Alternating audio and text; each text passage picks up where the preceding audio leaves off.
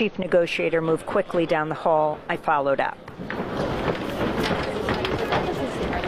Could I just get one quick comment from you on the arrests of the climate activists and the journalists in the lead up to this COP? I have clearly answered your question. Thank you. I'm sorry that I'm running out of the meeting. Just a brief answer from the press.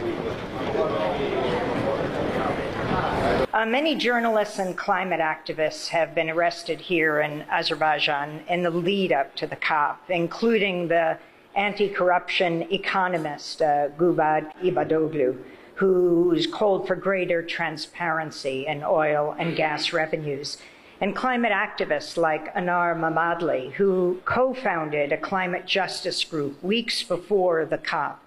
My question is um, will they, among many other arrests in this lead up to the COP, be freed? Why were they arrested? And since it's uh, Tourism Day here at the COP, don't you think that um, this is a great uh, threat to tourism uh, when you have a crackdown like this in a country? Surely I'm not going to comment on any ongoing judicial processes. We are here all to make a collective effort for the sake of humanity to agree and adopt important decisions uh, on climate action.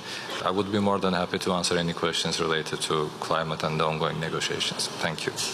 They are climate activists, climate economists. After the news conference, I caught up with Yalcin Rafiev of Azerbaijan, representing the COP presidency, as he spoke with journalists outside the room. Sir, could you comment on the climate activists who've been arrested? He's, he's got a, he's got quite a busy schedule. Yes, I